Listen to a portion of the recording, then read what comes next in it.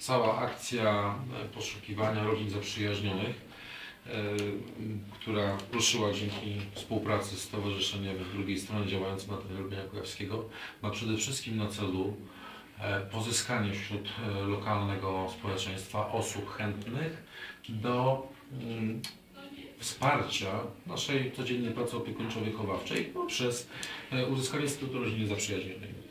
Czemu ma tak naprawdę to służyć? Przede wszystkim temu, żeby nasi wychowankowie e, mieli styczność e, w cudzysłowie z naturalną rodziną, żeby mogli emocjonalnie odpocząć od e, ciągłego przebywania w grupie rówieśniczej, bo tak pracują placówki opiekuńczo-wychowawcze, pójście na popołudnie, na weekend do rodziny, która będzie stałym elementem w życiu tego, tego naszego wychowanka, będzie dla niego czymś bardzo ważnym. E, Uzyskanie wsparcia emocjonalnego od rodziców, zobaczenie jak może wyglądać e, chociażby wspólne zjedzenie posiłku w rodzinie, czego dzieciaki bardzo dawno nie, e, nie, nie doświadczały.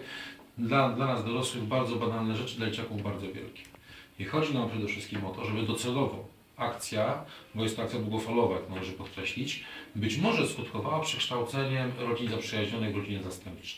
Jeżeli uda nam się znaleźć stały dom chociażby dla jednego czy dwójki dzieciaków, będzie to nas ogromny sukces.